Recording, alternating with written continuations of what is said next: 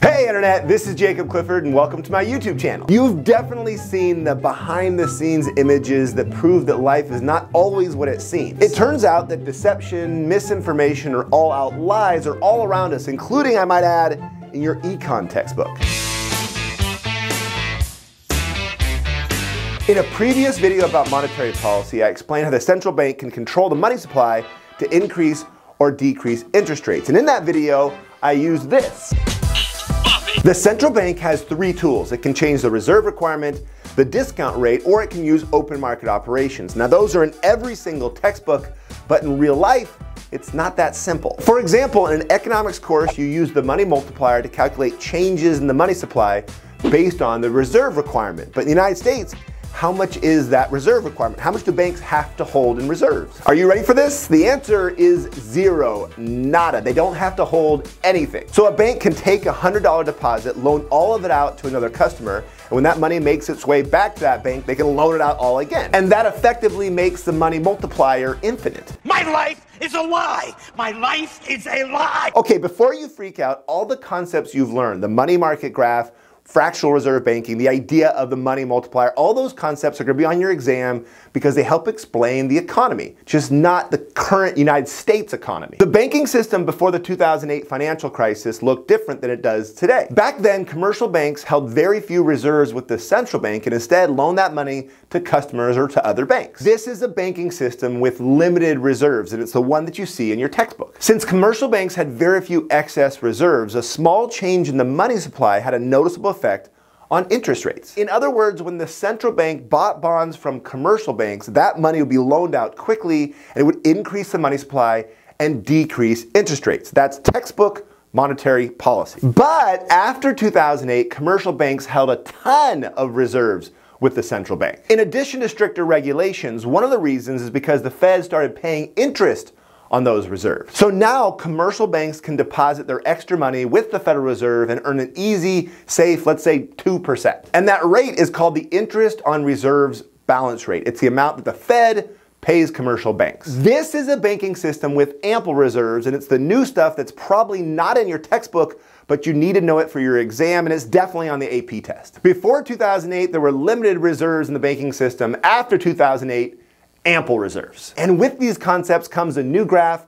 It explains limited and ample reserves and explains why the three tools of monetary policy that you learned aren't used in the United States today. But keep in mind that this is a different graph from the money market or the loanable funds market that you still need to draw and analyze. Instead, this is the market for reserves. Down here, we have the quantity of reserves that are deposited with the central bank. And up here, we have the policy rate, the rate that the central bank looks at when it's conducting monetary policy. In the United States, that policy rate or target rate is the federal funds rate. It's the rate that banks charge each other for overnight loans. So since we're talking about the United States and the Federal Reserve, let's change this from policy rate to the federal funds rate. Let's start with demand. There's an inverse relationship between the federal funds rate and the quantity of reserves demanded. If the federal funds rate is high, then commercial banks don't want to deposit money with the Fed. They want to loan that money out to other banks and earn a higher rate of return. But if the federal funds rate is low and banks can't earn that much money from lending to each other, they might as well deposit that money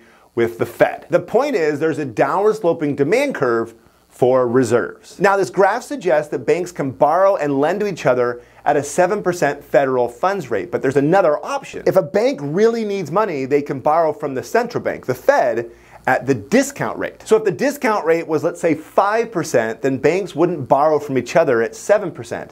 That effectively puts a cap on the federal funds rate at the discount rate. I'll explain that again. If you're a commercial bank, no one's going to pay you 7% if they can go borrow from the Fed at 5%. And so that causes the demand to look like this. So now we have the demand and the supply of reserves is vertical because it's set by the central bank. Those come together and give you the equilibrium federal funds rate. Now here's the important part. When the supply is over here, that shows you a banking system with limited reserves. An increase or decrease in the money supply would increase or decrease reserves and that would change the federal funds rate, affecting interest rates in the overall economy, that's textbook monetary policy. But what about a banking system with ample reserves? This demand curve suggests that down here at 1%, banks are willing to lend to each other.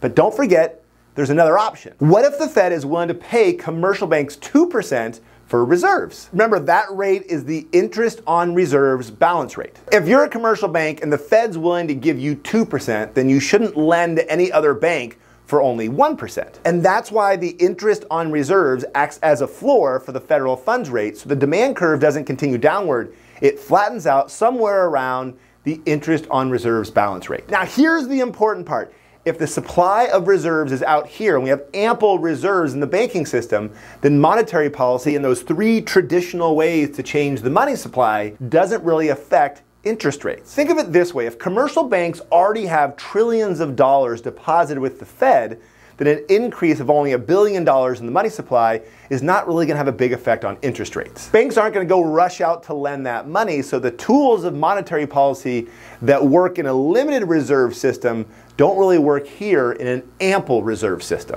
Okay, so if those traditional tools of monetary policy don't work, how does the Federal Reserve do monetary policy today? What tool do they use? Well, you already know. They can change the interest on reserves. For example, let's say we have ample reserves and the federal funds rate is at 2%.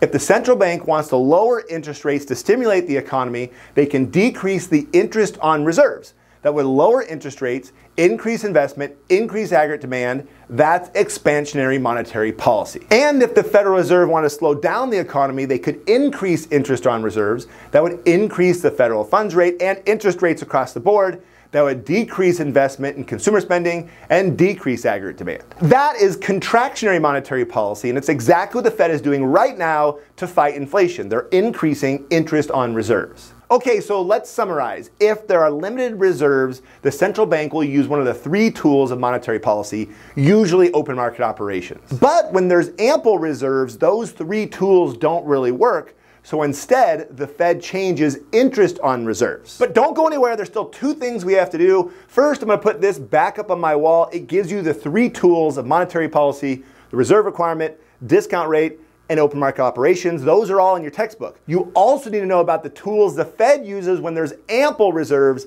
That's interest on reserves. And the second thing we have to do, it's time for a pop quiz. No, no, no, no, no, no, no. At the end of these videos, I give you a few multiple choice questions to make sure you're getting it, and the answers are in the first comment below. I also added all these new concepts to my ultimate review packet and made brand new worksheets for you teachers. There's samples of all those. Just follow the link in the description below. Thanks for watching. Till next time.